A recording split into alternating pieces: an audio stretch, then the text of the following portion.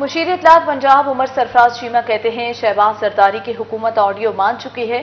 Cipher हकीकत है। क्या इमरान खान अपने खिलाफ साजिश पर खामोश हो जाते? साइफर के हवाले से हकीकत कौम के सामने आना ज़रूरी है, मगर तहकीकात करवाते हुए इम्पोर्टेड टोले की कांपे टांग जाती हैं। उमर सरफराज चीमा ने अपने रद्दमल में कहा, शहबाज जरदारी हुकूमत ये समझती है कि साइफर गैर अहम है तो बिला तखीर इसकी तहकीकात करवाए।